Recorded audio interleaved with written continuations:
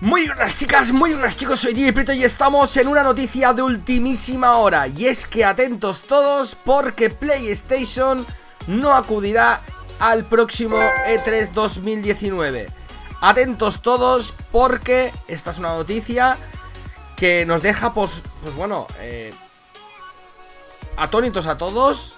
Será la primera vez en 24 años que Sony no acudirá al E3 y Sony apostaría por un evento paralelo a lo EA.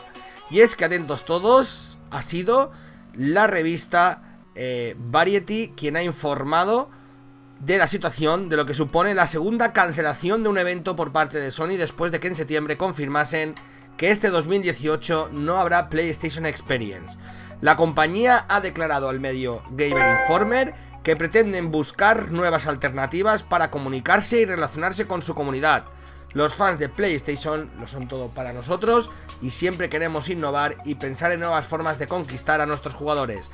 La PlayStation Experience y el E3 no nos permitían hacer eso, pero tenemos grandes cosas para el futuro y esperamos poder compartirlas con vosotros cuanto antes.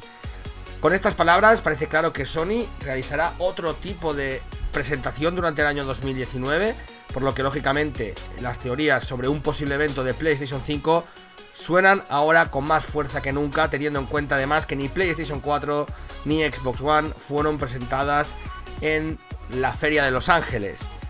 Así que os iré informando el detalle de todo lo que ocurra porque es una de las noticias más importantes en el mundo de los videojuegos. Ahora os puedo confirmar que el anuncio de PlayStation 5 en el año 2019 está más cerca que nunca. Muchas gracias, estaremos y seguiremos informando. Hasta la próxima, chao. Y recordad, si podéis contribuir a que este canal siga adelante, podéis haceros miembros del canal. Dispondréis de ventajas exclusivas y muchísimo más.